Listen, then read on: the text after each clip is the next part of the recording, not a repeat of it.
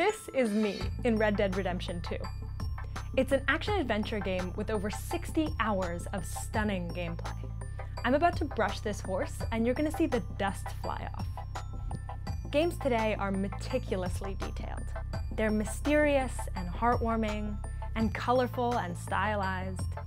And inside every one of these major games, Fortnite, PUBG, Rocket League, you'll find these.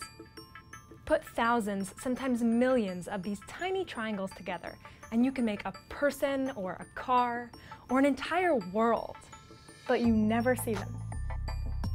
So, why triangles? Take another look at this game. Technically, what you're seeing is all squares. Your screen is divided into pixels, and each pixel can display exactly one color. That's been true since the earliest video games, like Pong. It was just squares, right? So it was just like a pile of squares to make two paddles, and one square that was the ball. And the fact that I could move something and it moved was like super beautiful. That's Brett Bibby. He grew up playing Pong, and now he leads the engineering team at Unity, one of the top game engines in the world. A game engine basically gives you the tools that you need to build elaborate environments let's imagine you wanted to make a Wild West game. You wanted to ride into town and have a shootout. So you might start off with just like creating some boxes to represent the saloon, the bank, and other things, the main road. And it would just be all white. You would just try to get a sense of size and scale, kind of like Legos, right? Just try to get a sense of the space. And so I'm iterating and developing it slowly. And when you're done, the detailed game that you made needs to show up as pixels on a player's screen. That process is rendering. And the player's computer is going to have to do a ton of math to follow through. In the last 20 years, the amount we can show on screen per second has gone up. Way, way up. This is a standard measure of computing power. It tells you the number of calculations a machine can perform per second, in billions. You'd think that a more powerful computer would make it easier to render games, and it does except that game makers keep competing to add more and more detail, pushing the limits of what even the newest technology can do. So the game engine's job is partly to keep the number of computations needed for each detail as low as possible, so that game makers can fit more in. Which brings us back to these guys. Triangles are used almost exclusively in rendering for video games. They're a way for a game engine to batch pixels, allowing the player's computer to process more detail. From the computer's point of view, everything in your game really looks like this. The game engine creates sets of instructions that the computer translates into pixels on your screen. This V means that these are coordinates for vertices, the corners of some kind of shape. Imagine playing connect the dots. You'd use straight lines, right? Especially if you didn't know what shape you were making yet.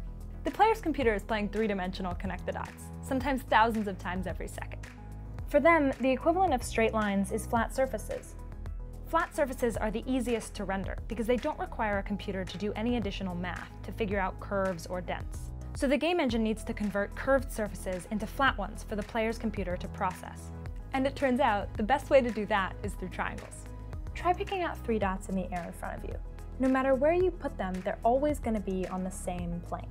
The surface of the triangle is always flat. And no other shape with vertices is like that. If you have four points, then those four points could actually describe a very complex object. Four points can describe a pyramid, for example. That results in a more mathematically complex, higher processing power ask just to figure out the pixels on the surface. So, triangles it is.